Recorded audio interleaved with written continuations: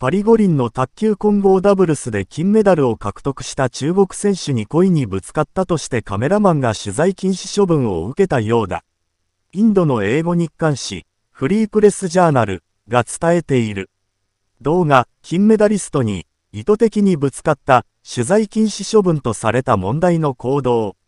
記事は、スウェーデン人女性ジャーナリストに取材禁止処分中国人金メダリストを訴金に意図的にぶつかる。という見出しで動画を掲載した。インタビューを受けていたオーソキンが対応を終え、歩き出そうとした時だ。後ろを通ろうとしていたスチールカメラマンが突然、不自然に進行方向を変えた。レンズを覗き込んでいたようで、オーソキンに向かって直進。ぶつかられたオーソキンは思わず、のけぞっている。カメラマンの不注意にも思えるが、この行為を意図的と報じた記事では、女性のメディア関係者がオーソキンに向かってまっすぐ歩いていく。その瞬間が収められた動画が SNS 上に拡散された。別の記者への取材対応中のことだった、と言及。さらに今大会、オーソキンは2度の災難に襲われたと指摘した。